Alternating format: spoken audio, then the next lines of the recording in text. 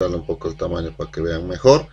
Ahí está, comencemos entonces con el resumen general, que esto también les va a ir muy bien a los de arquitectura. Ojo con esto, por favor, más de esto no creo que necesiten los de Arqui para Historia de Bolivia, pero muy atentos a esto, muy, muy atentos. Y ahí a los de Economía les va a servir para que veamos una introducción de manera global y de esa manera eh, luego desmenucemos cada una de las cosas. Bueno, vamos a ver fechas y sucesos importantes en la historia de Bolivia. Número uno, los primeros gritos libertarios. Entonces no se olviden que antes de la independencia de Bolivia en 1825 ya se dieron unos primeros gritos libertarios. ¿Cuáles han sido los más importantes? Faltan aquí algunos, pero vamos a nombrar, porque falta, por ejemplo, Tarija y demás. Pero, a ver, algunos vamos a, a nombrar el 25 de mayo el primer grito libertario a nivel de Sudamérica en 1809 en Chuquisaca con los hermanos Sudanes. El 16 de julio de 1809, 16 de julio, Día de la Paz. Eh, Pedro Domingo Murillo se levanta, toman la ciudad de La Paz, luego lo capturan a Pedro Domingo Murillo, y lo ahorcan, ¿no? Pero eh, cuenta y, o sea, eh, hay una historia que dice que antes de morir alzó una tea y dijo, la tea que dejo encendida, nadie la pagará, ¿no? De ahí es eso de lo de Pedro Domingo Murillo. Bueno, y el 14 de septiembre de 1810, por eso es 14 de septiembre el día de Cochabamba, nuestro gran héroe Esteban Arce, eh, hacen un levantamiento pierde Esteban Arce, ¿sí? lo toman prisionero, y posteriormente cuando ya había perdido el ejército de Esteban Arce, los españoles eh, llegan hasta Cochabamba y al no haber eh, hombres ya para defender, se da uno de los sucesos más valerosos y heroicos de nuestra historia y demuestran el heroísmo de la mujer cochabambina y un montón de mujeres con ancianos, niños eh, mal armados, con picotas, con palos, con piedras, esperan al ejército realista de Goyeneche y este Goyeneche sin ninguna contemplación de que sean mujeres ni nada, eh, les le, ocasiona una, una masacre a nuestras pobres mujeres cochabambinas y en el cerro que hoy conocemos como el cerro de la Coronilla, ahí se dio el enfrentamiento eh, se dio ese suceso de tal valor que muestra que la mujer cochabamina pues también defiende a falta de, los hombres, ¿no? Bueno, después se da, eh, ya que una vez que se logró la independencia de la Argentina, porque no se olviden que tenemos dos grandes libertadores en lo que es eh, esta parte de, de Sudamérica. ¿Quiénes son los dos grandes libertadores? Por una parte, Simón Bolívar, que ha liberado cinco de los países sudamericanos con sus eh, enfrentándose al ejército realista. ¿Cuáles han sido estos países? Han sido Venezuela, Colombia, Ecuador, Perú y Bolivia. Perú lo que lo que se llamaba el Bajo Perú y Bolivia lo que se llamaba el Alto Perú, ¿sí? Entonces, uno ha sido Bolívar, Simón Bolívar, y el otro ha sido el mariscal San Martín, ¿sí? José San Martín, que él ha ayudado a liberar lo que es la parte de la Argentina y también Chile, ¿sí? Eh, la parte de más abajo. Entonces, eh, ya logra su independencia la Argentina y manda varios ejércitos auxiliares, que ya lo vamos a ver eh, más detalladamente, cuatro ejércitos en total, de 1810 a 1817, y los para tratar de liberar el Alto Perú. Y los cuatro fracasan y los cuatro no tienen éxito en esta, eh, en esta empresa, ¿no? De querer liberar a lo que es el Alto Perú. Así que fracasaron los cuatro ejércitos argentinos. Luego también se da la formación en Bolivia de las republiquetas. ¿Qué eran las republiquetas? Eran guerrilleros instalados en un territorio, como en Bolivia, por ejemplo, en el cual ellos no peleaban de frente con, los realistas, sino que les atacaban como una guerrilla y se instalaban en cierto lugar del territorio boliviano y eh, ellos decían que eran independientes, que no estaban controlados por el ejército realista, por España en pocas palabras, ¿no? Entonces por eso se llama de república, republiqueta, ¿ya? Es como decir que ellos han tratado de hacer eh, independizarse, ¿no? Y una de las más importantes de estas republiquetas ha sido la republiqueta de Ayopaya, que ha sobrevivido incluso hasta el momento de que Bolivia ha logrado su independencia y esta Republiqueta de Yopaya ha sido liderada por José Miguel Lanza, por si acaso.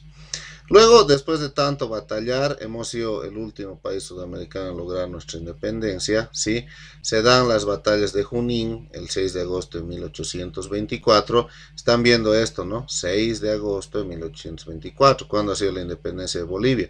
Sido el 6 de agosto de 1825. Entonces, un año después de la batalla de Junín, como conmemoración a la misma y la batalla de Ayacucho, que ha sido el 9 de diciembre de 1824. Entonces estas dos batallas han sido muy importantes porque al ganarle estas dos batallas a los ejércitos realistas, a los ejércitos de España, eh, ha sido un punto de inflexión para lograr la libertad de esta parte de Sudamérica.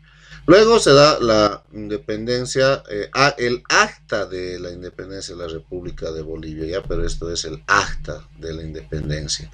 Eh, se da el gobierno de Bolívar, muy poco hace, porque estuvo apenas meses. Se da el gobierno del mariscal José Antonio Sucre, el segundo presidente de Bolivia. A ver, el primero fue eh, Simón Bolívar, ¿no? Pero hizo algunos actos administrativos, nada más. El mariscal el mariscal Sucre, lo mismo, y en realidad una de las presidencias más importantes de esa época ha sido la del el gobierno del mariscal de Cepita, así le decían, por haber ganado la batalla de Cepita, eh, el mariscal Andrés de Santa Cruz, que hasta hoy en día es reconocido como uno de los mejores presidentes que ha tenido nuestro país, en el cual, por ejemplo, nuestro ejército estaba considerado como uno de los mejores del mundo incluso, entonces tenía mucho respeto en esa época nuestro país, que ha durado este gobierno 10 años, entre 1829 y 1839. Entonces, ahí, como les decía, el ejército boliviano eh, tenía un prestigio mundial. También otro acto administrativo del mariscal Andrés Santa Cruz es la creación de la moneda feble. ¿Qué es esto? Eh, ya les voy a explicar con más detalle para los de economía, pero bueno, era una moneda, en esa época las monedas eran de plata, entonces le sacaban un pedacito de esa plata, se lo quedó el Estado y le mezclaban con otro material que no, que no era plata, ¿ya? Entonces, eso se llamó la moneda feble, que fue un desacierto para el gobierno del mariscal Andrés Santa Cruz. Se crea también la Confederación Perú-Boliviana, ¿sí? O sea, hay una unión entre Perú y Bolivia y se da la guerra con Chile. Lamentablemente nos ganan esta guerra y gracias a eso lo destituyen al mariscal Andrés de Santa Cruz, que ha sido uno de los mejores presidentes que hemos tenido. Después se da una batalla bastante importante en la vida republicana, que ha sido la batalla de Ingavi. ¿Qué pasó? Agustín Gamarra, era un peruano, eh, decía que Bolivia nunca debería haberse separado del Perú, porque no se olviden que ellos eran de la, eh, eh, ellos eran del Bajo Perú y nosotros éramos del Alto Perú, pero en realidad era una, pertenecía a una misma audiencia, ¿se entiende, no es cierto? Entonces Agustín Gamarra dijo que no tenía que haberse independizado Bolivia y que Bolivia era parte del Perú, que debía ser parte del Perú. Entonces trae un ejército Agustín Gamarra y eh, el mariscal José Vallivian sale a la defensa con su ejército, eh, sale a la defensa y se enfrentan en Ingavi, en La Paz, ¿ya? Entonces, eh, Agustín Gamarra tenía un ejército más numeroso, pero aún así es vencido por José Vallivian, que logra ganar esta batalla. Agustín Gamarra muere en el campo de batalla y gracias a esto que Bolivia consolida y ratifica su independencia. Entonces, si no hubiera sido esta batalla de Ingavi, Perú nos hubiéramos anexado otra vez al Perú y hubiéramos sido parte del Perú ahorita, no hubiera existido Bolivia. Muchos eh, dicen que tal vez hubiera sido lo mejor. Tal vez ahorita alguien reniegue y diga, no, ¿cómo pues? Pero otros dicen, tal vez lo mejor hubiese sido que nomás con Perú seamos un país, en vez de estar dividido en dos ahorita, que, somos así como que dos pequeños, era mejor ser uno solo pero poderoso, ¿no? Eh, nunca se va a dar eso, así que esa es una suposición. ¿Qué hubiera pasado sí, Agustín Gamarra ganaba la batalla de Ingavi y ahorita éramos un mismo país con el Perú. ¿Cómo hubiera cambiado nuestra historia? ¿Qué hubiera sido de nosotros? Hubiera habido estos últimos enfrentamientos que ha habido, Evo Morales hubiera sido presidente, ¿qué hubiera pasado? ¿Ah? Completamente distinto, gracias a este, a este suceso. Bueno, se da gracias a lo que gana la batalla de Ingami, el gobierno de José Vallivian entra al poder. Luego de Vallivian, vayan acordándose esta... Estamos hablando aquí de los presidentes más importantes, ¿no? Porque hay otros que no, no están nombrados aquí. Se da el gobierno de Manuel Isidoro Belsu, ¿sí? que le decían el Tata Belsu. Él era defensor del pueblo, era de un gobierno populista por si acaso, y fomentó lo que es la... Eh, producción de la quina o cascarilla, que esto en esa época servía para curar a los que estaban enfermos de fiebre amarilla y demás, ¿no? Entonces Belsu ha fomentado eh, que se produzca esta quina. Después se da el gobierno de Mariano Melgarejo, ¿sí? Que entra al, poder, por ejemplo, después de Belsu, ¿ya? Ya vamos a ver cuando desglosemos cómo, ha sido interesante esa parte. Eh, lo asesina a Belsu, ¿sí? Eh, o sea, se, se, estaban por enfrentar sus dos ejércitos, entre Belsu y, Melgarejo, y eh, Melgarejo le dice, nos reuniremos para conversar, y el otro acepta. Melgarejo entra y directo un tiro le da y lo mata. Y sale al balcón y dice, Belso ha muerto, ¿quién vive? Y todos han gritado Melgarejo y desde ahí, desde ahí se ha vuelto presidente. Se han dado ahí las pérdidas territoriales con Chile y con Brasil, con Brasil el Mato Grosso, por ejemplo. Después se ha dado el segundo gobierno de Tomás Frías, ¿sí? Y en este segundo gobierno de Tomás Frías se ha dado la quema del Palacio de Gobierno. Desde ahí que se quemó Palacio de la Paz, el Palacio de Gobierno, y es por eso que llevaba el nombre de Palacio Quemado, ¿ya? Palacio Quemado, porque eh, Resini, que era uno de la que estaba en contra de, del gobierno Tomás Frías, este fue el que, el que hizo que se incendie el palacio. Después se ha dado el gobierno de Hilarión Daza y no se olviden que el gobierno de Hilarión Daza se ha dado la guerra del Pacífico. Estamos mostrando en pantallazo lo más importante de esto, ¿ya? Entonces, la guerra del Pacífico, gobierno de Hilarión Daza. Fíjense, aquí está, Hilarión Daza, su gobierno es de 1876 a 1879 y la guerra del Pacífico ha sido en 1879. Bueno, se ha dado un impuesto a los chilenos eh, de 10 centavos sobre el guano y el salitre. Y estos, al ver que se les estaba cobrando un pequeño impuesto, se han entrado directamente y se ha dado la guerra del Pacífico en 1879. Ha empezado el 14 de febrero de 1979. Este está mal, esto hay que corregir. Es 1879. Aquí se ha adelantado, se ha adelantado 100 años. Entonces, hay que corregir. 14 de febrero de 1879 con la invasión Antofagasta. ¿sí? Ahí ha empezado la guerra del Pacífico. Se ha dado eh, la defensa de Calama al lado de nuestro gran héroe Eduardo Avaroa y Ladislao Cabrera. Ya saben lo que dijo Avaroa, ¿no? El puente del Topater, rendirme yo, que se rinda. Bueno, y murió acribillado por una balacera. Se da el fin de la guerra y se da la batalla del Alto de la Alianza y perdimos definitivamente la salida al mar. Han visto que hoy en día el gobierno de Morales, en la anterior gestión, eh, se ha tratado en La Haya de hacer un proceso a Chile, no ha dado ningún resultado, así que está bastante difícil recuperar eh, la salida al mar. Sin embargo, hay otros mecanismos que podríamos utilizar, como los puertos hacia el lado del Paraguay, eh, que tenemos los puertos para poder salir hacia, hacia el océano hacia el océano, ¿no es cierto?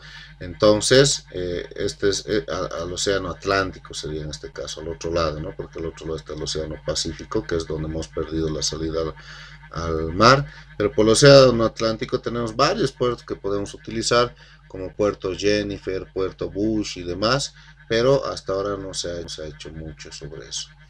Después tenemos 1800 eh, y mil, de 1880 a 1952 se considera en la época de la, de la construcción de la nación oligarca.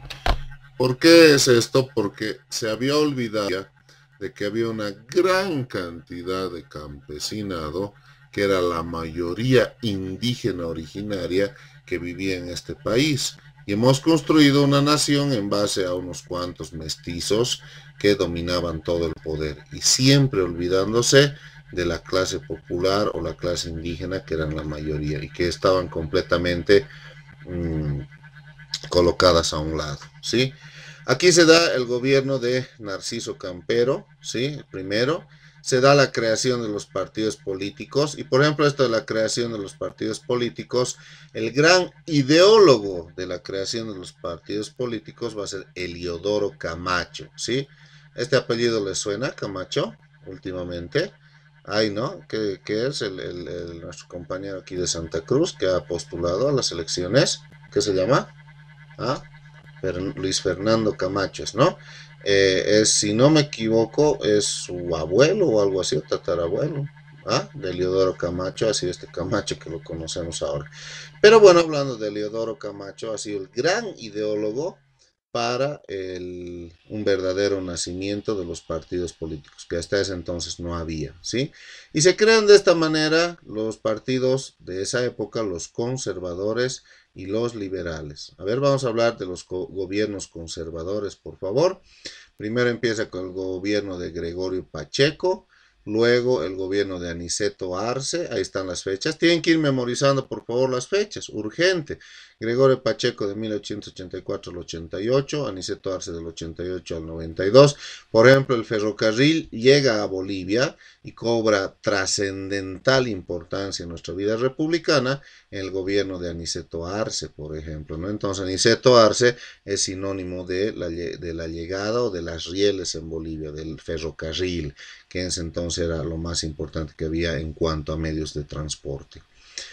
Eh, justo ahí dicen, el desarrollo del ferrocarril. Después de Aniceto Arce viene el gobierno de Mariano Baptista y luego termina este periodo de los conservadores con el gobierno de Severo Fernández de Alonso. ¿Por qué? Porque en 1899 se va a dar otro suceso de trascendental importancia que va a ser la Guerra Federal. Eh, vamos a hablar un poquito de esta guerra federal ahorita, ¿ya? Pero ahí está, los gobiernos conservadores, Gregorio Pacheco, Aniceto Arce, Mariano Baptista y Severo Fernández de Alonso, no se vayan a olvidar eso. Luego, ¿qué pasa con la guerra federal que se da en 1899? Eh, hay una pelea porque no se olviden que la capital era, es, bueno, sigue siendo nuestra capital Chuquisaca, Sucre, eh, pero la mayor cantidad de recursos los, lo generaba la, generaba la paz. Entonces ellos piden que haya un federalismo, o sea, se pide que haya un federalismo, que se vuelva una república eh, ya no unitaria, democrática, sino federal. Eso significa federal que cada uno de los estados se vaya a manejar por cuenta propia, vaya a manejar por cuenta propia sus recursos y tal vez incluso sus leyes. Hay distintos tipos de federalismo también. Sin embargo, eh, no se dio nunca esto, aunque ganó eh, los liberales ganaron la guerra federal, ¿ya? Y la intención era volverlo federal Bolivia, pero nunca ocurrió esto. Pero lo que sí ocurrió es que se va a dar un hecho eh, importantísimo que es el traslado de la sede de gobierno de Chuquisaca, de Sucre, a La Paz. Entonces, desde esta guerra federal es que la sede de gobierno se la lleva a La Paz. Sigue siendo Chuquisaca nuestra, sede, eh, nuestra capital, pero sin embargo, eh, la sede de gobierno donde está el presidente, ministros, diputados eh, y todo eso está en La Paz. De los cuatro este, poderes que tiene el Estado, ¿cuáles son los cuatro poderes que tiene el Estado? Poder ejecutivo, que es el presidente, vicepresidente y ministros, el poder legislativo, que son los senadores y los diputados, el poder judicial, que son los jueces y demás, y el poder electoral, que son los encargados de las leyes. De estos cuatro poderes, tres están en La Paz y uno está en Chuquisaca actualmente. ¿sí? Bueno, entonces gana, ganan los liberales la guerra federal con la ayuda del indígena eh, Pablo Zárate Vilca, que le decían el terrible Vilca, por si acaso. derrotan al ejército conservador, Pablo Zárate Vilca se une con José Manuel Pando, que era el que encabezaba a los liberales, pero una vez que ganan la guerra federal y lo sacan a, Severo Fernández Alonso, a los conservadores, eh, José Manuel Pando lo hace apresar a Pablo Zárate Vilca y misteriosamente muere en la cárcel Pablo Zárate Vilca. Es como que si lo hubiera usado. Lo ha usado para ganar la guerra federal y después de eso lo ha vuelto prisionero y los ha matado a los cabecillas, ¿no? Se da entonces el gobierno de los liberales, empezando con el gobierno de José Manuel Pando, ¿sí?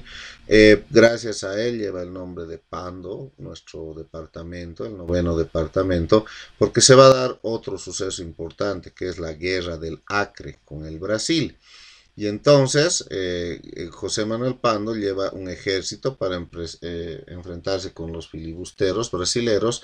Esta guerra más que todo se dio por lo que es un recurso importantísimo de esa época que era el caucho. Entonces, estos árboles que generaban la goma, la goma, ¿sí?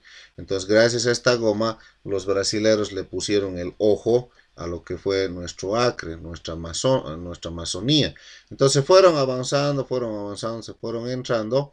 Y fíjense que si no hubiera sido una batalla súper importante que se dio en, eh, en Pando, que en ese entonces no se llamaba así, pero en la capital de Pando, que, hoy en día es Cobija, saben ustedes muy bien, en ese entonces no se llamaba Cobija, se llamaba Bahía. Entonces ahí en Bahía se da una batalla, que es justamente la batalla de Bahía, donde eh, un ejército improvisado, no era el ejército de José Manuel Pando, sino entra eh, a la palestra otro personaje importante que de esa época que fue Nicolás Suárez, que era un gomero, que, que, era un empresario gomero que sacaba la goma de, esa parte de, de Bolivia, ¿ya?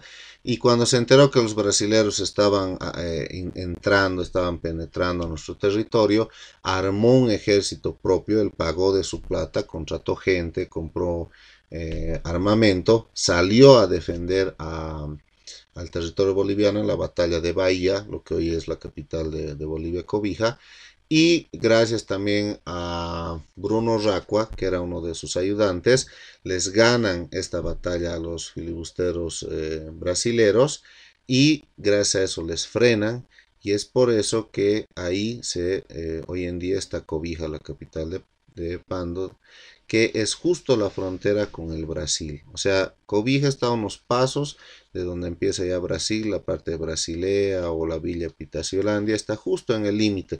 Y se ha puesto ahí justo eso para evitar que los brasileños eh, sigan avanzando. Sin embargo, eh, la pérdida territorial que hemos tenido con el Brasil ha sido grandísima, ¿no? Un pedazote grande nos han sacado de todas maneras.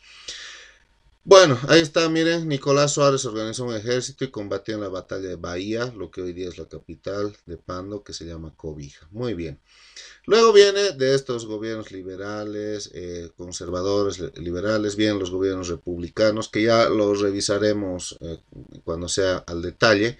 Pero luego viene otro suceso importantísimo en la vida republicana, la guerra del Chaco. Entonces ahí se da eh, el gobierno de Daniel Salamanca, que era llamado también como el hombre símbolo, es una, puede ser una pregunta de examen de ingreso, ha sido, que le decían eh, a Daniel Salamanca, entonces ahí está, el hombre símbolo es la respuesta, ¿no? Se da en este suceso la guerra del Chaco, que tuvo cuatro fases, la primera fase, que fue la toma del Fortín Boquerón en 1932, y se da aquí la defensa heroica eh, de nosotros los bolivianos, comandadas por el teniente coronel, si no me equivoco, sí, Manuel Marzana, que eh, heroicamente con creo que ciento y tantos hombres eh, defendió la arremetida de miles de miles de paraguayos y no era tan cruda la defensa que dice que las ametralladoras bolivianas los hicieron retroceder a los paraguayos.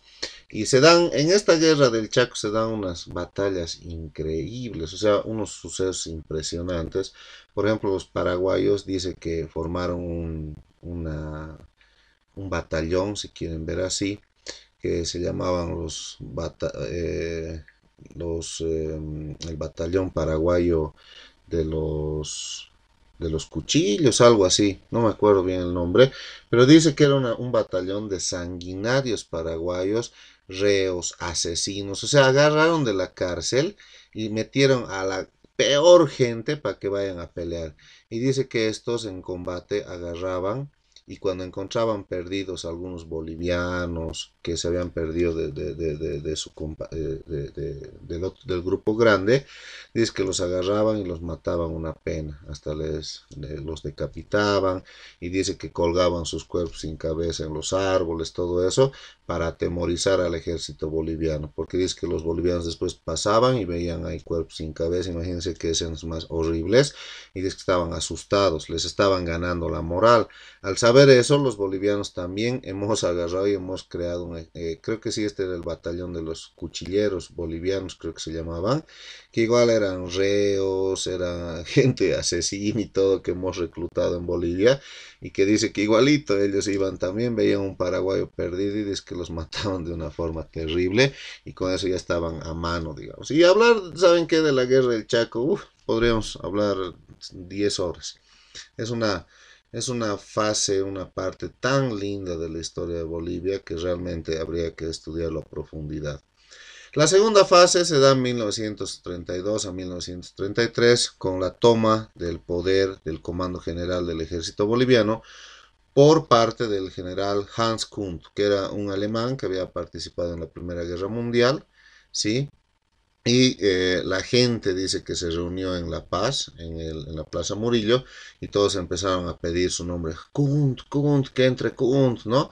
Y bueno, gracias a este pedido popular entra Hans Kunt a, comandar el ejército boliviano, sin embargo lo hizo un desastre. Ahí fue donde realmente los paraguayos no, creo que nos dieron una paliza nomás en, toda, eh, el, eh, en todo lo extenso de la palabra, y paliza nos han dado, ¿no?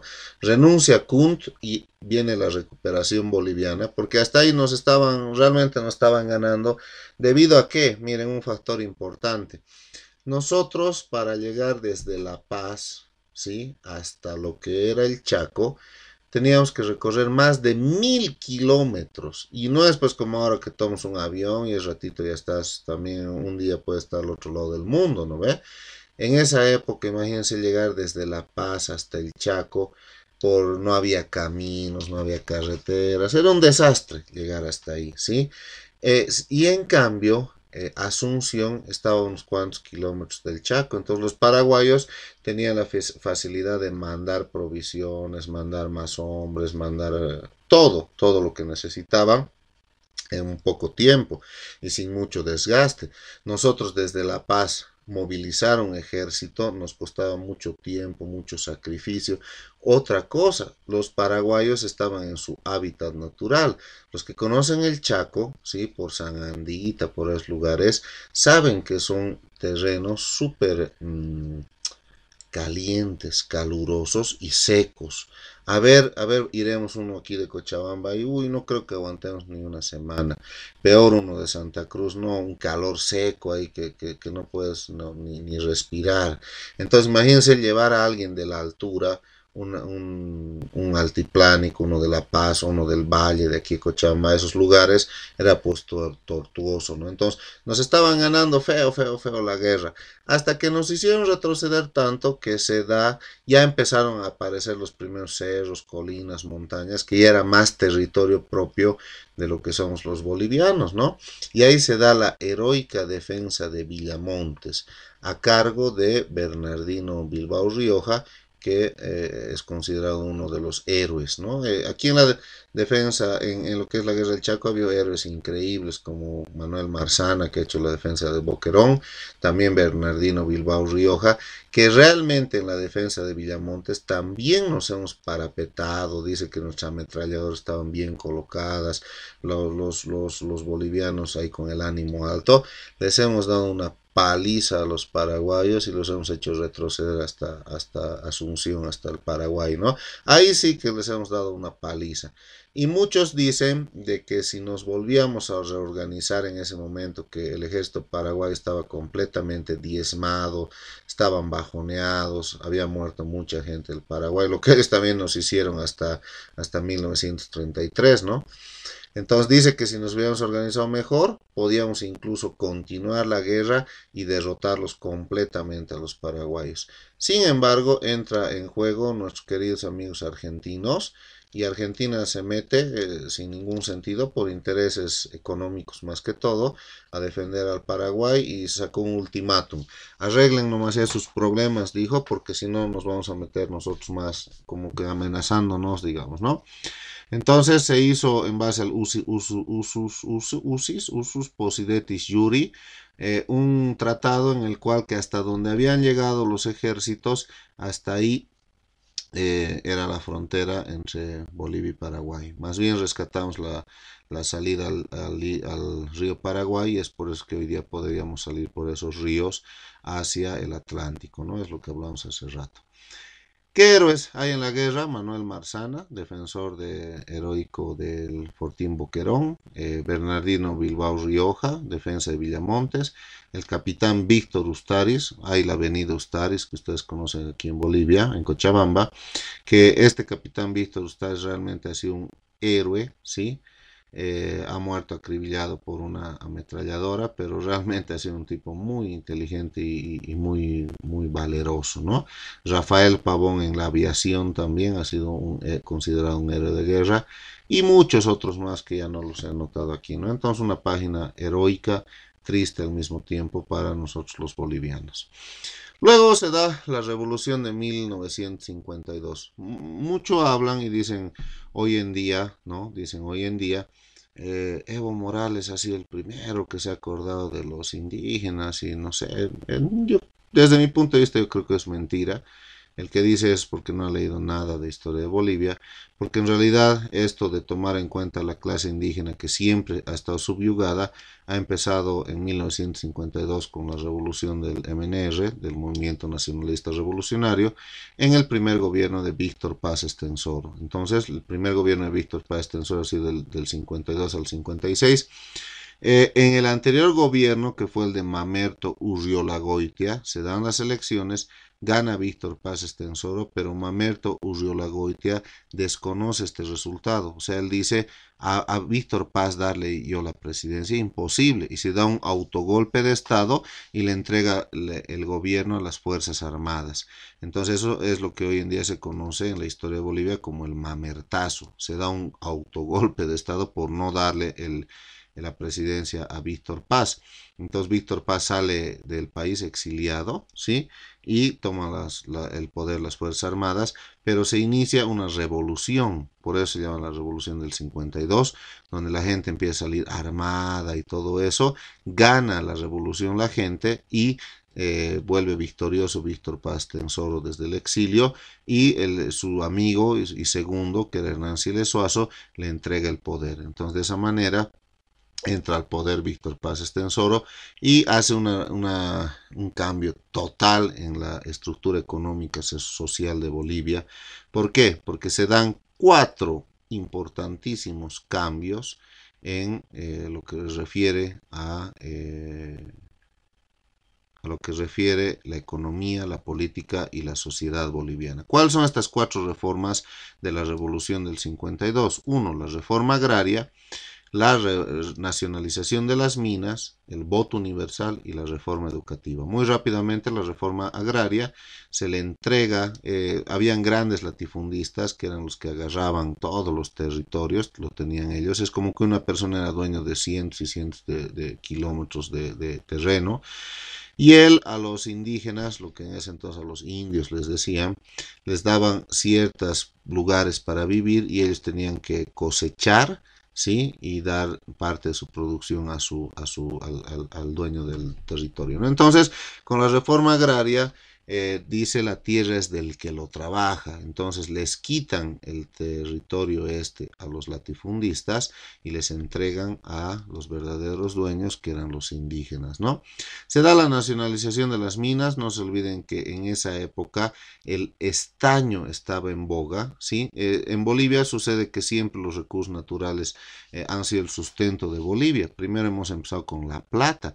No se olviden que los españoles se han robado plata hasta cansar del Cerro Rico de Potosí y de otras minas más que hemos tenido. Entonces, primero hemos sido bendecidos con la plata. un montón de plata hemos tenido. Se ha acabado, luego ha venido la época de la goma, que ya hemos hablado que por eso se ha dado la guerra del Acre con el Brasil. Después se ha dado lo que es la época del estaño. No se olviden que aquí aparecen los tres grandes varones del estaño que han sido Simón y Patiño, Hoshil y Aramayo, ¿no? Entonces ellos han dominado esto del, del estaño, incluso Simón y Patiño metido harta plata para para equipar al ejército boliviano contra los paraguayos en la guerra del Chaco. Sin embargo, en la época del primer gobierno de Víctor Paz Tensoro, se ha hecho la nacionalización de las minas. ¿Qué significa? Que les han quitado a Hochil Patiño y Aramayo las minas y el Estado boliviano se ha hecho cargo de la administración de estas minas y de sus recursos, que en esa época era el estaño, lo que era lo más grande, ¿no? Se da el voto universal, hasta ese, hasta ese entonces había voto calificado, no todos podían votar, ¿sí? Pero ahora ya podían votar absolutamente todos, ¿no? Imagínense un cambio tan bueno que ha habido en esa época. Y otro, la reforma educativa. Solamente tenían derecho a la educación las personas de un estatus medio alto. Pero con esto se quiere dar una educación a todos, indígenas, no indígenas, citadinos, no citadinos, a todos. Es muy debatible decir si funcionó o no funcionó, funcionaron estos cuatro puntos, sin embargo sí se dieron estas reformas. ¿sí? También se da otro aspecto súper importante en, la vida, en la vida republicana de nuestro país, que es la creación de la Central Obrera Boliviana, COP cuando el 17 de abril de 1952. Vayan nomás ya memorizando esas fechas, ¿sí? Y el gran secretario ejecutivo que hasta viejito ha comandado la COP ha sido el inolvidable Juan Lechín Oquendo, que llegó a ser vicepresidente de la República junto a Víctor Paz Estensoro, si no me equivoco. Después también en, este, en este gobierno, el primer gobierno de Víctor Paz Tensoro, se da el, el, desarrollo del Oriente. Hasta esa época Santa Cruz realmente era un, o sea, desaparecido en Bolivia, ¿sí? Pero gracias al MNR se incentiva a las personas para que éstas puedan ir hacia, hacia Santa Cruz a trabajar allá. Y vean que esto ha ocasionado en tantos años que hoy en día Santa Cruz ha vuelto el polo de desarrollo más importante de Bolivia, ¿no? Eh, con La Paz compiten en número de habitantes, creo que tienen 3 millones de habitantes cada uno, Cochabamba le sigue con aproximadamente 2 millones de habitantes, pero sin embargo en economía Santa Cruz de es, es la que más genera recursos hoy por hoy, ¿no? Y Santa Cruz ha vuelto uno de los departamentos más importantes de Bolivia. Y también se da otro aspecto importante, la creación de la Comibol. La Comibol eran los que administraban todo lo referente a la minería en Bolivia, ¿ya? La de las minas bolivianas, ¿sí? Eh, después se da el primer gobierno de Hernán Siles Suazo. Hernán Siles Suazo era el gran amigo de Víctor Paz Estensoro, ambos eran abogados. Eh, pero miren cómo son las cosas y las paradojas del destino, habiendo empezado ellos eh, con una amistad tan grande con esto de la revolución y demás, terminan enemistados a muerte y después no pueden ni verse ¿no? y, y participan por separado en las elecciones.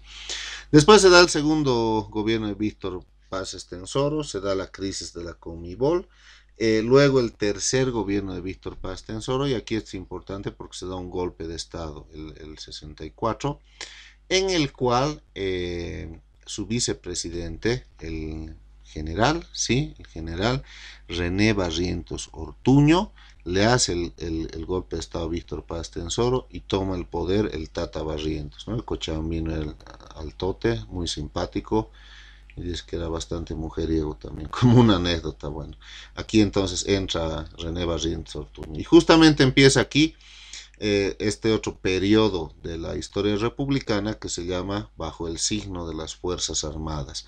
Y este es el periodo comprendido entre 1964 a 1978. Ya ese es un periodo en el cual ha estado gobernado intercalados sí con algunos gobiernos civiles, pero la mayoría de ellos han sido gobiernos dictatoriales, gobierno de eh, dictadores de las Fuerzas Armadas, ¿no? Militares. Entonces ahí se da el gobierno de René Barrientos, Ortuño, que fue en 1964, que murió misteriosamente en un accidente de helicóptero, ¿sí? entra, eh, antes de, bueno, de su muerte, se da después la copresidencia, un suceso inaudito, nunca en ningún país se ha dado esto, que al mismo tiempo gobiernen dos presidentes. En Bolivia sí se ha dado. Ha sido la copresidencia entre Barrientos y eh, Alfredo Bando Candia. Entre los dos, entre Bando y Barrientos, se da la copresidencia. Luego viene el tercer gobierno de Barrientos, en el cual entre 1966 y 1969 se da un suceso importantísimo que es la muerte del guerrillero cubano bueno, argentino, perdón, pero que, ha, estado mucho tiempo en Cuba al lado de Fidel Castro, Ernesto Che Guevara. Entonces el Che Guevara lo capturan en Ñancahuazú, eh, en la guerrilla, y dan órdenes, seguramente Barrientos, da órdenes de matarlo, y lo asesinan a eh, Ernesto Che Guevara. Ese suceso es importante. Luego se da el tercer gobierno de Alfredo Bando Candia entre el 69 y el 70, que el suceso más importante ha sido la nacionalización de la Gulf Oil. Eso es importante, puede ser pregunta de examen de ingreso. Después se da un, eh, un gobierno interesante, populista, ¿ya? de facción populista, o sea que, estaba a favor del pueblo, si quieren ver así, que era el gobierno de JJ Torres, el gobierno de Juan José Torres. ¿Qué se hizo en este gobierno de Juan José Torres? Se creó la Asamblea Popular. ¿Qué era la Asamblea Popular? Era donde todos se, se iban a reunir, mineros, artesanos, profesionales, carpinteros, todo, todos los rubros, toda la gente se iba a reunir para tomar decisiones sobre el futuro de Bolivia. Entonces JJ los iba a reunir y les iba a preguntar qué hacemos sobre esto y se iba a debatir, se iba a charlar. O sea, quería él que el pueblo participe de estas decisiones y por eso se crea la Asamblea Popular. Lamentablemente JJ Torres eh, después escapa y al exterior y lo asesinan, una pena ya, Juan José Torres. Mm, supuestamente creo que Banzer lo ha hecho asesinar. Aquí también un errorcito, miren, bien dice la dictadura de Hugo Banzer, dice, ¿no? Banzer, eso hay que corregir, de Hugo Banzer Suárez, entre 1971 y 1978, ha sido el eh, eh, que más largo ha estado en el poder un presidente eh, dictatorial miren, siete años ha estado en la presidencia, ¿no? Y dice la dictadura y gobierno continuo más largo que ha habido, bueno, hasta que ha llegado el de Evo Morales, que, ahora es también, eh, claro que de Morales se divide en periodos, ¿no? De él ha sido de uno solo. Se dio, ¿qué cosas? ¿Qué sucesos? La masacre de Tolata, aquí en Cochabamba, Van se sacó un nuevo paquete de un paquete de algunos, algunas reformas económicas. La gente se opuso, salió a la calle, los mandó a reprimir y los mataron. Murieron un montón de personas en Tolata, los que conocen aquí, yendo hacia Clis, hacia Punata, ¿no? Se desarrolla también Santa Cruz, invirtió mucho Banzer en lo que es Santa Cruz. Incluso hoy en día hay una avenida que se llama la avenida Hugo Banzer Suárez, allá en Santa Cruz. Y también, imagínense, se dio el abrazo de Charaña. Esta es pregunta de examen de ingreso, también que ha entrado creo para arquitectura y también para economía. Eh, Banzer, que era el dictador boliviano, se reúne con su homólogo, otro dictador de esa época que en Chile, que era el dictador Augusto Pinochet que lo hizo matar a un socialista. Antes de Pinochet estaba Salvador Allende y lo hace asesinar. Entra Pinochet, otro dictador, otro militar, y Banzer le llama a una reunión y le dice, mira, arreglaremos este tema del mar, le dice, ¿no? De que, nos habían quitado el mar ellos. Y le, dice, como los gobiernos, eh, como los civiles no han podido arreglar este asunto, nosotros los militares arreglaremos este asunto. Entonces, se reúnen en una localidad fronteriza entre Chile y Bolivia, en un vagón a la mitad justo entre Chile y Bolivia, y justo ahí se dan lo que se conoce como un abrazo en, eh, en Charaña, el abrazo de Charaña entre estos dos dictadores. ¿sí? Hablan, charlan, estaban por entrar a un acuerdo, creo que es la que ves que más cerca hemos estado de, recuperar el mar. Sin embargo, Pinochet le dice que podían hacer un intercambio territorial, ¿no? O sea, que nosotros le cedamos una parte de territorio y ellos nos iban a dar una salida al mar. Eso queda en controversia de decir que, que, que, que era lo correcto hacer, darles un pedacito de otro lado que no tenga muchos recursos o no tenga recursos y recuperar nuestra salida al mar o negarnos.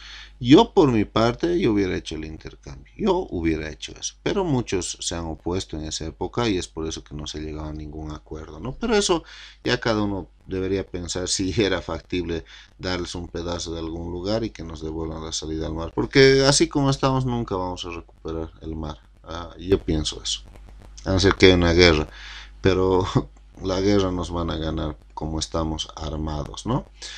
Entre 1978 y 1982 se da esto que se eh, llama la nación sin rumbo. Ha sido una época caótica, una época donde no se sabía, entraba uno, lo sacaban, lo votaban, no sabíamos qué iba a pasar con, nuestro país. Miren, aquí se da el gobierno de Juan Peredas Boom, que era el yerno de Hugo Banzer Suárez. Hugo Banzer Suárez crea su partido político que se llamaba ADN, Acción Democrática Nacionalista, y eh, este Juan Pérez Boom, por no dejar el poder, hizo un fraude monumental en las elecciones y dio un golpe de Estado, pero renuncia y se dan las elecciones de 1979 donde se dio lo que se conoce hoy en día como el empantanamiento entre Víctor Paz Estensoro y Hernán Siles Suazo, los dos grandes amigos que empezaron la revolución del 52, ya hemos hablado hace rato sobre esto, se enojan de por vida y van a elecciones por separado, cada uno con sus partidos distintos, y hay un empantanamiento. ¿Qué significa esto de empantanamiento? Eh, primero salió Víctor Paz Tensoro, después Hernán Siles Suazo, empates prácticamente. En tercer lugar salió Hugo Banzer Suárez con el ADN. Y en cuarto lugar salió eh, Marcelo Quiroga Santa Cruz, un gran idealista izquierdista, que luego va a perder la vida horriblemente a manos de la peor dictadura que hemos tenido, ¿no? La de García Mesa, que vamos a hablar en un ratito más. Pero fíjense cómo, qué significa esto de empantanamiento. Viene de, eh, de, pantano, ¿ya? Significa que eh, prácticamente creo que había mil votos de diferencia entre los dos. Entonces tenía que escogerse al presidente en el Congreso. Los diputados, de acuerdo al número de diputados y de senadores que tenía cada uno, tenía que votar para escoger al nuevo presidente. Banzer, que era el tercero, no les iba a dar nunca sus votos ni a Víctor Paz ni a Hernán Siles. Peor Marcelo Quiroga Santa Cruz, porque él era de carácter izquierdista, entonces jamás les iba a dar a ninguno de ellos los votos. Entonces el tercero y el cuarto era como que no contaban, no, no le iban a dar sus votos ni al uno ni al otro. Y entre ellos tampoco se iban a dar sus votos. Entonces, ¿qué quedó en una suerte de empantanamiento donde no se escogía presidente? Estábamos un montón de días sin presidente porque no había cómo escoger al presidente. Estaba todo ahí estancado, en pocas palabras. ¿Qué se decide hacer? Miren, se decide que ni el uno ni el otro sea presidente y que entre al poder Walter Guevara Arce, sea presidente. Entonces Walter Guevara Arce entra a la presidencia en 1979 y se da otro suceso importante que se llama el golpe de estado de Todos Santos a cargo del coronel Alberto Natush Bush, ¿ya? Entonces uno de los gobiernos más cortos, el de Natush Bush.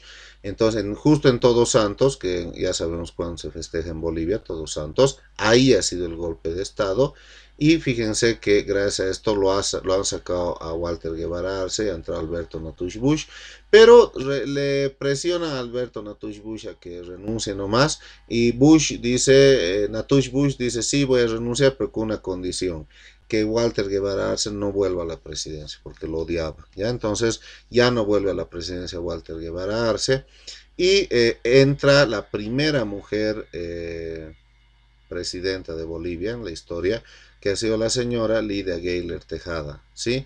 Y la segunda, recién nomás, ha sido eh, Janine Áñez, ¿no es cierto? Pero hablando de la primera, Lidia Gayler ha gobernado entre el 79 y el 80, y el único afán que tenía la señora Gayler era de llamar a elecciones, más o menos estando en cuenta con Janine Áñez, algo así era, ¿no? Pero se le adelantó, antes de que sean las elecciones, se le adelantó eh, Luis García Mesa, toma el poder Luis García Mesa y se da la peor presidencia, la presidencia más cruel, más terrible, más sanguinaria que ha vivido nuestro, nuestro país. ¿ya? Entonces aquí viene la dictadura de Luis García Mesa. Eh, dice que eh, Luis García Mesa la agarró a la señora Lidia Gayler Tejada, que murió hace unos años recién. Una señora muy, muy demócrata, muy correcta, increíble, eh, la señora Lidia Gayler, un ejemplo de mujer. Pero fíjense, Luis García Mesa dice que la sentó a la señora Gayler le dijo, bueno, señora Geller, tiene hasta el mediodía para firmar su carta de renuncia. Aquí está, le entregó el papel, fírmeme hasta el mediodía y se está yendo usted a su casa. Así. O sea, a, ese nivel, imagínense el militar a la presidenta hablándole de esa forma, ¿no? Uno de los más crueles y sangrientos, con su ministro, el ministro del terror, Luis Arce Gómez, que este Luis Arce Gómez, ¿saben qué dijo? Eh, hay grabaciones, pueden buscar un poco, ya lo vamos a desmenuzar eso. Dijo en una conferencia, ¿no? todos los que contravengan a, las leyes y al Estado boliviano y lo que determinemos, tienen que irse al exterior, porque si no, tienen que andar con su testamento bajo el brazo. ¿Qué les está diciendo con eso? Que si no van a hacer caso o algo, los van a matar. Y su amenaza la cumplió nomás. Imagínense, se da uno de los sucesos más increíbles en la historia de Bolivia, el asalto de la Central Obrera Boliviana, donde estaban reunidos un montón de representantes de distintas eh, de distintos sectores. Estaba Walter, estaba, perdón, Juan Lechín Oquendo como representante de la COP, estaba Oscar Eid Franco, estaba nuestro querido, que en paz descanse, Marcelo Quiroga Santa Cruz, se da el salto a la COP por, a manos de paramilitares, o sea, gente encapuchada con ametralladoras, que a punta de balazos lo sacaron a, los principales líderes y se dio el asesinato justamente a sangre fría, a punta de ametralladora, del líder izquierdista Marcelo Quiroga Santa Cruz, ¿ya? Y dice que antes de que muera lo han torturado una pena, el cadáver lo han ocultado. Hasta hoy en día no se sabe dónde está el cadáver de Marcelo Quiroga Santa Cruz. Entonces, eh, se ha apagado la luz de un gran líder izquierdista. Si seamos de izquierda o de derecha, hay que, hay que entender que es un gran líder y, y cómo esta dictadura cruel y esta dictadura terrible ha cegado la vida de un hombre brillante que muy posiblemente podía haber sido presidente de la República. Se da también la masacre en la calle Harrington, varios grupos de dirigentes de partidos políticos, especialmente del MIR, si mal no recuerdo, se reúnen en una calle de La Paz que se llama Harrington, entran paramilitares y con ametrallador los liquidan a toditos. Solo hubo una sobreviviente que era una mujer, ¿ya? Que hasta hoy en día sigue viva ella, creo que sigue viva, pero en sus relatos, llorando, ella cuenta cómo han entrado y los han asesinado a sangre fría, sin ninguna pena, ninguna compasión, los han matado en la calle Harrington. Se da aquí algo, algo que, que falta también, se da el asesinato a sangre fría del padre Luis Espinal, que era un padre que que promulgaba los derechos hacia los pobres, hablaba de la injusticia y todo esto. Y eh, se la juró Luis Arce Gómez y cumplió su promesa y lo han encontrado al padre Luis Espinal torturado, antes de morir lo han torturado una pena, eh, lo han matado. O sea, está, se está dando cuenta de qué clase de gobierno estamos hablando, ¿no? Peor que este gobierno que no creo que haya existido nunca. Se da, imagínense, la venta de las piedras semipreciosas de la Gaiba. Eran unas piedras preciosas que eh, eran de Bolivia. Y este señor Luis eh, García Mesa y su ministro Luis Arce Gómez lo han vendido como si fuera de ellos. Es como que es de Bolivia y yo voy y lo vendo para mi, mi bolsillo. Imagínense, se ha dado el aumento del narcotráfico desmesuradamente. Desde esa época es que Bolivia se ha vuelto un narcoestado y hasta hoy en día seguimos arrastrando el flagelo de lo que es el narcotráfico. Se ha dado los vidrios, eh, la venta de los vidrios ray del de lo que es eh, la piscina olímpica en La Paz, si alguien se conoce la piscina olímpica por obrajes creo que es, eh, se lo han sacado y lo han ido a vender para su bolsillo. O sea, ya, ya estamos viendo qué clase de gobierno ha sido, ¿no? Y ya vamos a ir terminando. Estito más, por favor, vayan aguantando. Viene la reconquista de la democracia de 1982 a 1997. Se reconquista la democracia en Bolivia. Se acabaron para siempre los gobiernos dictatoriales y hemos vuelto a una vida democrática entre el 82 y el 97. Se da el segundo gobierno de Hernán Siles Suazo él tenía que gobernar del 82 al 86 con la su partido político Hernán Siles Sosa era la UDP por si acaso ya entonces tenía que gobernar cuatro años hasta el 86 pero se dio se dio el, la hiperinflación más grande en la historia de Bolivia. ¿Qué significa hiperinflación? O sea que los precios se dispararon de los distintos productos. Esto significa que si hoy día compras un pan con 50 centavos, vas a la tienda y mañana cuesta un boliviano. Vas al otro día y ya cuesta 4 bolivianos. Así, eso es una hiperinflación, ¿no? Que los precios van subiendo desmesuradamente y no alcanza para comprarse nada. Entonces dio eh, esta hiperinflación y eso hizo que él renuncie un año antes de lo que debía se lanza elecciones y gana su no muy querido ex amigo Víctor Paz Estensoro, que gobernó por cuarta vez Bolivia. Eh, así el que más veces ha, estado en el, eh, cuatro veces ha estado como presidente en Bolivia, ¿no?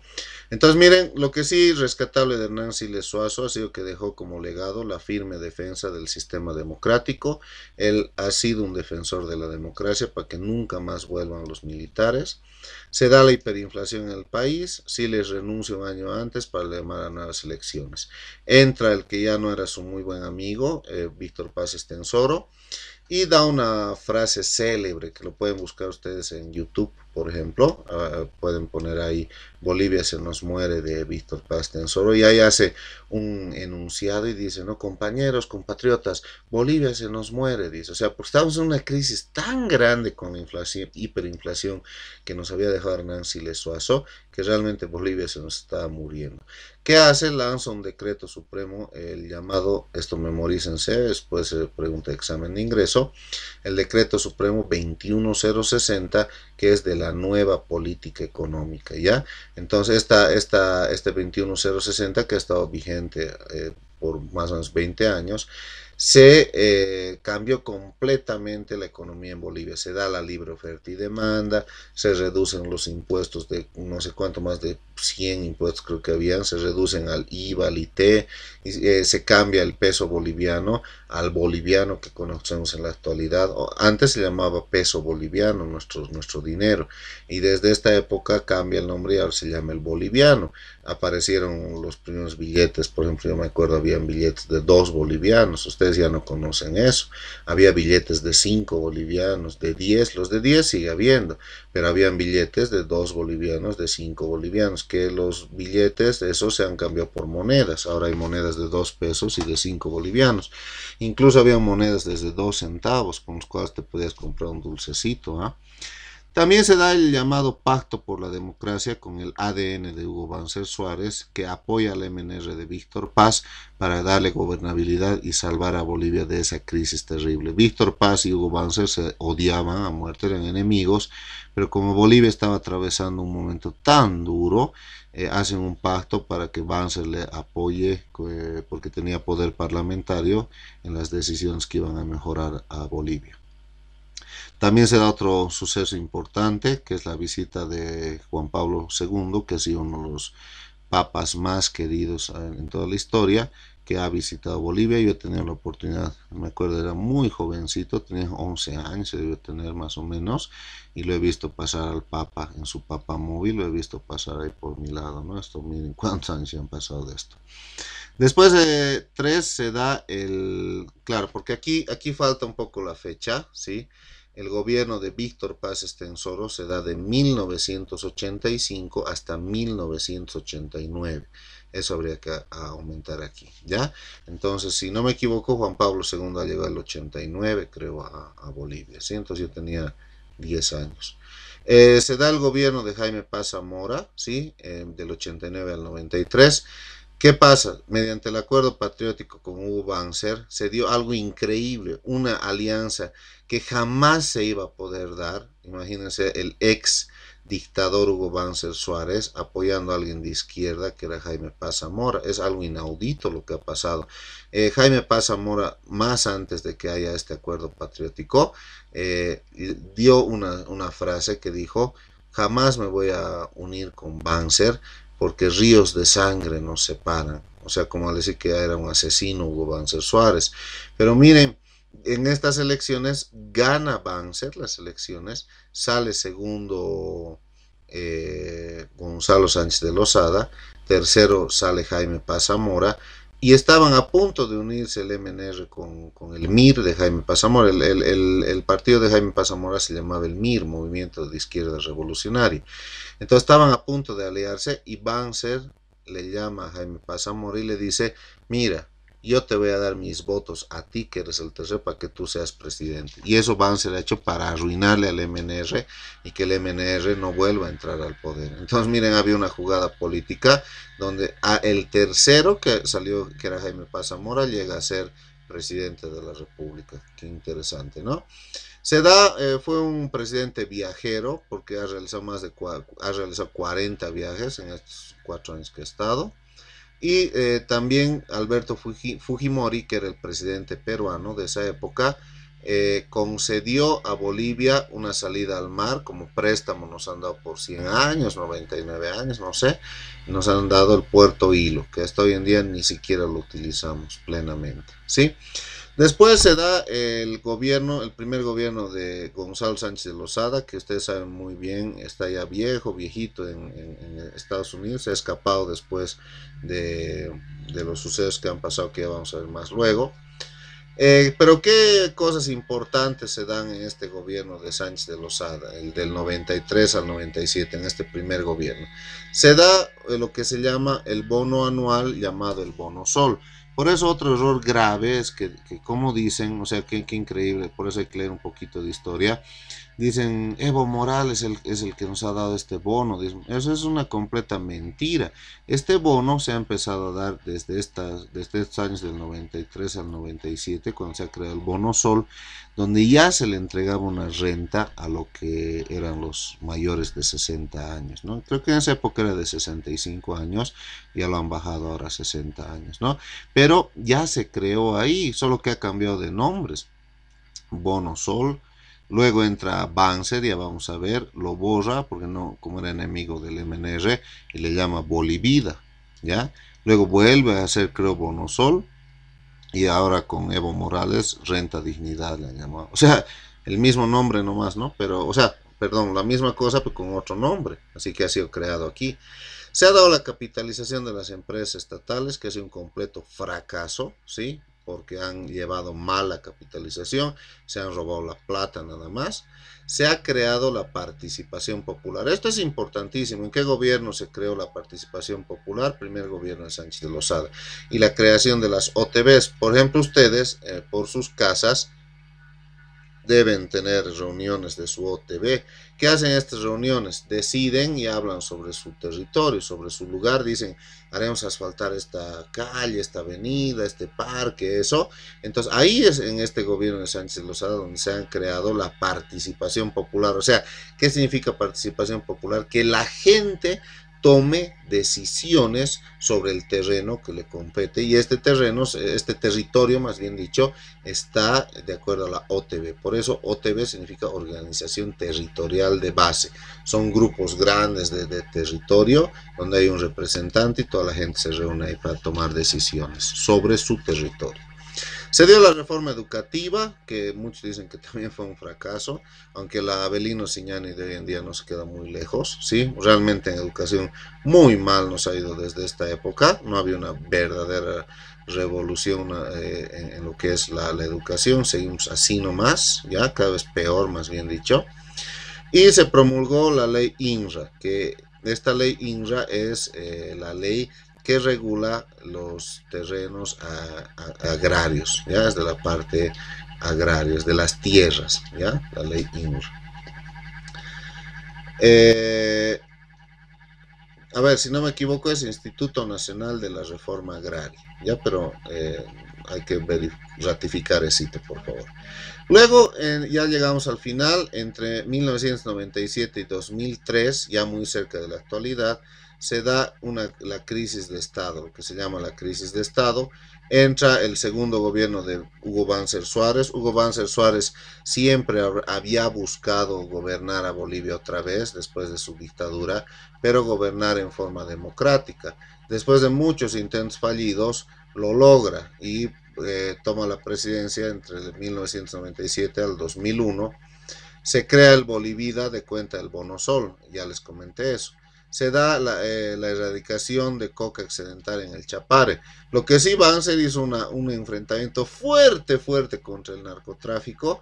Ha habido duros enfrentamientos entre los militares que estaban yendo a erradicar la coca excedentaria y los eh, del Chapare que estaban eh, cuidando sus cultivos de hojas del Chapare. ¿Quién cree que estaba ahí defendiendo en, estas confrontaciones que habían? El señor Morales, ¿no? Estaba ya ahí eh, metido en estos asuntos. Después fallece Hugo Banzer Suárez por una enfermedad, le da cáncer y antes de que muere, muera, le entrega el gobierno al vicepresidente, el ingeniero Jorge Quiroga Ramírez, Tuto, que lo conocen todos, ha participado por una temporada en estas elecciones, un hombre muy inteligente, muy, muy preparado realmente, qué increíble es como habla eh, el ingeniero, pero no tiene, lastimosamente no tiene arrastre, ¿no? no ha tenido votación. Banzer enferma, renuncia dejando como presidente al vicepresidente Jorge Quiroga. Luego se da el segundo gobierno de Sánchez de Lozada del 2002 al 2003. Eh, quiero aclararles una cosa, aquí en el primer gobierno de Sánchez de Lozada se da el primer vicepresidente indígena de toda nuestra historia. Vicepresidente estoy hablando. ¿Cuál ha sido el primer vicepresidente indígena de toda la historia? Víctor Hugo Cárdenas, ¿sí? que lo conocen todos ahora porque ha sido eh, ministro de Educación, ha sido toda esta temporada de la pandemia, ¿no? Ese Víctor Hugo Cárdenas, aquí en el gobierno de Sánchez de Lozada, en el primer gobierno de Sánchez de Lozada, ha sido eh, el vicepresidente. Y en el segundo, eh, segundo gobierno ¿sí? de Sánchez Lozada ha entrado como vicepresidente eh, otro tipo muy intelectual, muy preparado realmente, como habla a mí me sorprende, es eh, Carlos Mesa, ¿no? Carlos Mesa. Ustedes pueden discrepar con eso, pero desde mi punto de vista eh, Jorge Quiroga y, Carlos Mesa son muy preparados, ¿no? Eh, regresa el Bonosol, ¿sí? Otra vez lo borran el Bolivida y otra vez le llaman Bonosol y se crea el SUMI. Esto es importante, en el, segundo gobierno de Sánchez Lozada se crea el SUMI. ¿Qué es SUMI? Seguro Universal Materno Infantil, que desde esas épocas ya a las mujeres embarazadas les atienden gratuitamente para que puedan tener sus hijos y no gastar plata en eso, ¿no? Se da octubre negro, que creo que ya todos hemos escuchado hablar de esto. El gobierno quería exportar gas por Chile, Estados Unidos, se dieron confrontaciones con la muerte de muchas decenas de personas. Sí, eh, al enterarse Carlos Mesa de esto renuncia, lo deja solo a Gonzalo Sánchez Lozada, por eso es que Goni lo odia a Carlos Mesa y siempre le ha dado la contra porque lo ha dejado, digamos así, y Carlos eh, Gonzalo Sánchez Lozada con su ministro, eh, a ver, ¿qué se llama el ministro? Me he olvidado, el ministro de gobierno de, Sánchez de Lozada, Sánchez Berzaín, ¿no? Con Sánchez Berzaín, que es otro tipo bien preparado también, eh, escapan hasta lo que es Estados Unidos y hoy en día están viviendo ahí, ¿no? Hasta, hasta hoy en día están ahí. Luego entra el vicepresidente, que ha sido Carlos Mesa, ¿sí? Realizó un referéndum, el primer referéndum que se ha realizado en la, historia de Bolivia ha sido hecho por Carlos Mesa para tocar el tema del gas. Y Mesa, sin ningún apoyo parlamentario, renunció. Yo, por ejemplo, ahí discrepo con mucha gente porque en estas elecciones, por ejemplo, le han criticado mucho a Mesa. Ah, ¿para qué quiere entrar para renuncia? Hay cosas así, ataques bajos que le han hecho porque esa temporada yo sé lo que ha pasado. Como Gonzalo Sánchez de Lozada eh, lo odiaba, digamos, a, Mesa porque supuestamente solo, ¿sí? Porque ha renunciado Mesa eh, al ver que ya estaban empezando a haber muertos y Mesa no quería ser partícipe de esto. Entonces Sánchez de Lozada le quita todo el apoyo parlamentario. Entonces todos los diputados y senadores que eran del MNR no le dejaban gobernar, no le dejaban hacer leyes, no le dejaban promulgar leyes, no, les, no le dejaban hacer nada a mesa, ¿no? Y por el otro lado, los cocaleros y los, los, los del Chapare bloqueando toditos los días. O sea, era, era increíble, es que habría que vivir en esa época para saber realmente lo que ha pasado, no hablar de lo que le han contado a uno, yo lo he vivido. Entonces, los del Chapare han hecho un bloqueo de no sé cuántos días que no dejaban pasar alimentos, bloqueado de un lado, en el, en el, en el ¿qué se llama? En el Parlamento no le aprobaban ninguna ley. ¿Quién va a poder gobernar así? Cualquiera hubiera renunciado, o sea, no sé, no sé por qué hablan así nomás eh, esa parte sin conocer mucho. ¿no? Alguien puede diferir conmigo, bueno, cada quien tiene su opinión. Pero eh, renunció Mesa y eh, hubo un, se, se hizo uh, una presión por parte de los militantes del MAS que eh, el que tenía que seguir después de Carlos Mesa era el presidente de la Cámara de Senadores, que era Mario Cosío, si no me equivoco, ¿no? Pero ahí salió la, salieron lo, la presión de los simpatizantes del MAS para decir, no, no, Cosío no tiene que entrar al, al, poder, entonces le prohibimos, entonces le obligan a Mario Cosío a renunciar para que no entre. Ahí tenía que entrar después el presidente de la Cámara de Diputados, que era Armando Bacadíez, y lo mismo, ¿no? Que Armando Bacadíez no puede entrar, es MNRista, así hubo una presión terrible en esas épocas, y bueno, ahora ya no hay presidente, no hay vicepresidente, no hay presidente de la Cámara de Senadores, no hay presidente de la Cámara de Diputados. ¿Quién entra? Y la última opción era el presidente de la Corte Suprema de Justicia, que en esa época era Eduardo Rodríguez Belcet. Entonces entra Eduardo Rodríguez Belcet y fue presidente, siendo el presidente de la Corte Suprema de Justicia, llamó a elecciones y aparece ahí lo que es el, la época, la era del Estado plurinacional. Y ahí se da el 2006, el primer gobierno de Evo 2005, ¿no es cierto? El primer gobierno de Evo Morales Aima y ya conocen lo demás de la historia hasta hoy en día, ¿sí? Muy bien, jóvenes, eh, esa ha sido la explicación medio breve de todo lo que es historia de Bolivia.